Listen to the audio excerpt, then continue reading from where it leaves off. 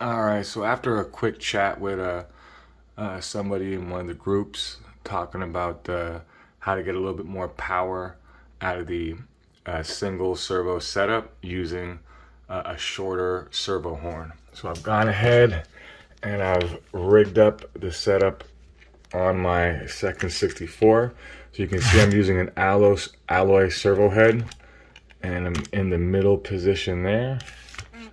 And what I've done is I've flipped the servo over. So the reef servo is usually mounted inside the chassis like this. I've flipped it over like this so I can get the uh, um, the rod end and the ball uh, out of the way of hitting the actual servo itself because you need to have a, uh, a different set of motion with the original piece on there. If you, if you shorten up the rod, uh, you're going to end up with conflict. if you shorten up the rod, you're going to end up with conflict hitting the, um, the, the, the push rod into the actual servo itself. They'll like bang into each other. So you need to do this in order to give free, clear movement on the servo horn with a shortened position for the uh, push rod to be mounted. So this is how I got it set up here. I've gone ahead and now, right now, this here is box stock uh, 64. It even has the original uh, toe links, so it's got all that toe in. The only thing that's on it are the uh, Redcat Racing mod wheels. This is nothing done to it, even the original battery. Uh, I have done the magnet mount so I can put on my 64 body and uh, take it off and on real easy. So that's pretty much the only thing uh, done aside from the uh, modified push rod and servo uh, servo horn. So let's uh, see how this hops with the uh, with the standard battery pack in there. There's no weights whatsoever. This is uh, running on the the the box original battery. There's no BEC on the RC, but I will pop a, a 2S battery in there anyways. I'll power up the um, the receiver and then do some hopping with it so you can see what it would be like if you do get a BEC on it. So let's go ahead and power this sucker up.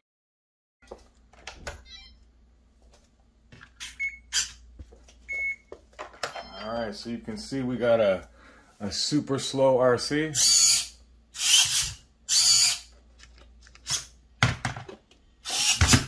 And the uh, front servo acts exactly the way it does normally. But let's get the body on there.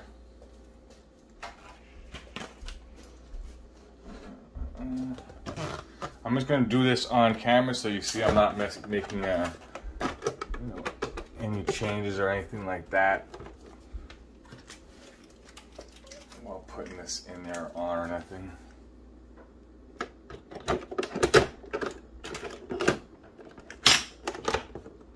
All right.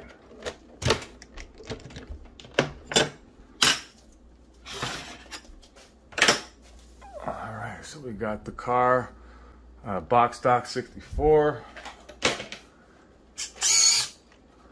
And you'll notice, I mean, right off the bat, I mean, it's, it's, this is really with the, the nickel plated battery, so it's not going to be a, a, a hard hitting servo with this battery pack in there. Let's try to put that servo up there, get a little bit of bounce action going.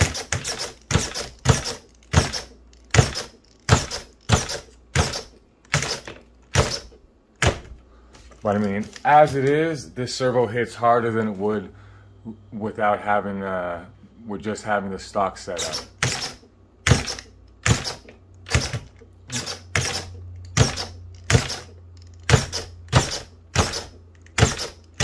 But what y'all really want to see is how this thing is going to hit if you have a little bit more voltage. Now, if you want to see it stall like uh, like a lot faster without having uh, without having to hit it once or twice, you can always put an extra weight back in there. But what I personally like is to have it set up so that it's not sitting on the back bumper. Now, from the factory, this is the way it is. When you when you pull it out from the box, it sits on the back bumper like this from factory and you have to make the adjustments in order to prevent it from doing that. You got to adjust the weight balance and everything in order to stop it from actually sitting on that bumper. But as it is out the box, this is what I'm demonstrating here, so you'll see what it is. So now we're going to pop in uh, a 2S battery and see what kind of hop action we get off that.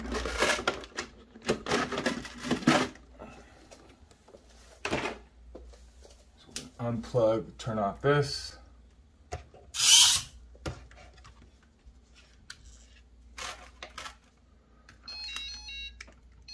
Disconnect this battery. And what I'm going to do right now is I'm just going to pull out the ESC connection from the uh, the receiver.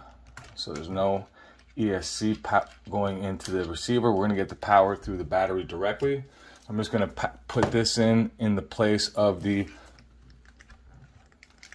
in the place of that battery of the uh, the ESC plug. There we have it in there. Tuck that into the that's that right now. So now we got now we got uh, a 2S battery powering. Now we got a 2S battery uh, powering the system. Pop that body back on. All right, let's see how she hops now. So you'll notice right off the bat that the, uh, the servos racking a little bit stronger.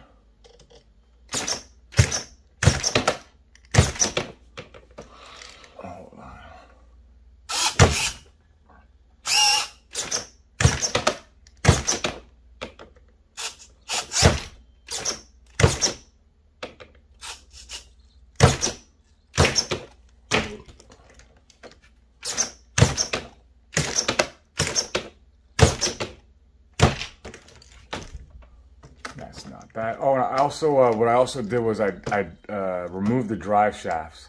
That's why the, the car can roll so freely.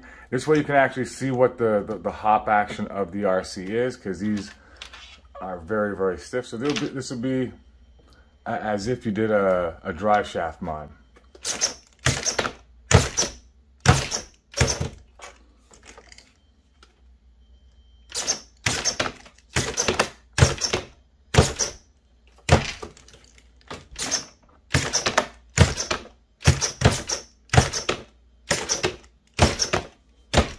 I'll be on that switch hand.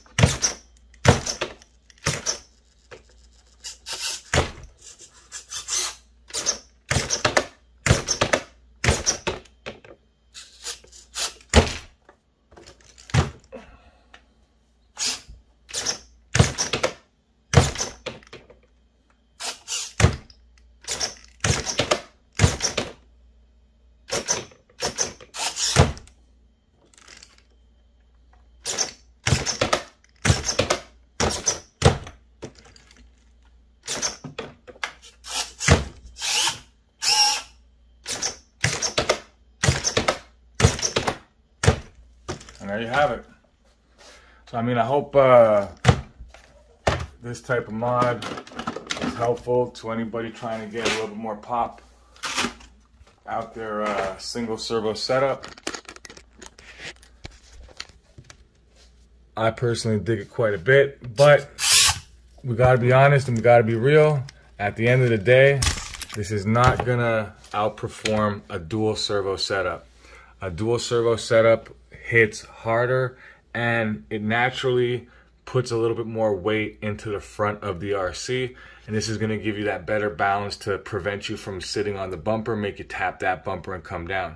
But I mean, even as you see, just with this setup alone, stock battery, no weight, we're able to bang that bumper and hit it hard enough to, to knock the car back down.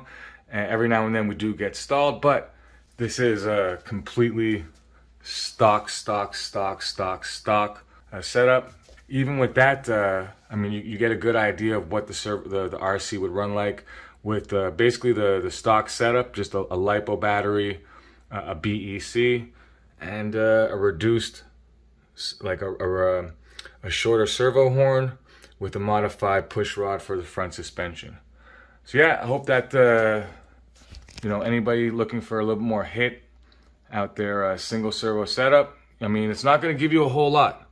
You also got to keep in mind this servo is completely unprogrammed. It's not been turned up. There's no juice added to it. That was literally how it comes from the factory. So I mean, you're not going to get a whole lot of extra hit just by reducing the servo like that. But I mean, if you want to get the most that you can get out your system, that's a, a good way to do it.